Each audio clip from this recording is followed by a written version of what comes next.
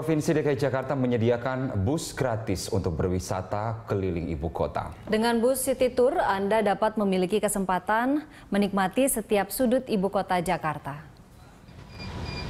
Ya, keliling Jakarta sekarang semakin menyenangkan.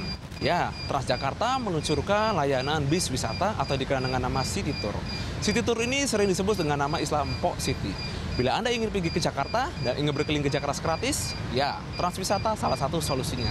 Salah satu tanda bila ingin uh, berkendara secara gratis adalah Anda harus melihat kata-kata tulisan City Tour. City Tour adalah tanda di mana Anda bisa naik bis gratis dan berkeliling kota Jakarta. Ada empat rute di mana Anda bisa keliling Jakarta dengan gratis. Yuk ikuti kami. Empo City akan mengajak Anda untuk berkeliling kota Jakarta. Pada pukul 9 pagi hingga 5 sore, Empo City akan mengajak warga Jakarta untuk menelusuri sejarah ibu kota dengan rute History of Jakarta dan merasakan shopping experience ke tempat wisata belanja.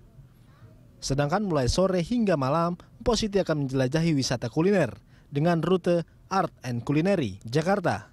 Sedangkan di hari Minggu, tur dimulai pada pukul 12 karena adanya Car Free Day. Untuk naik bus ini, Anda harus mencari halte bertanda khusus dengan tulisan City Tour.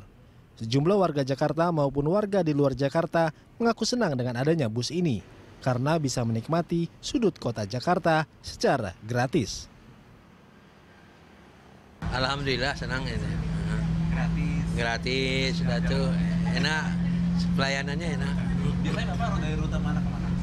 Saya naik dari uh, pom bensin ya di Tangerang di anu Karang Tengah uh, naik Transjakarta 3.500 kita udah bisa ke mana-mana Termasuk yang gratis. uh, gratis ke balai kota Anda wajib naik bis City Tour ini dan tidak salahnya Anda mencoba naik lantai dua dari bis ini. View-nya sangat menyenangkan.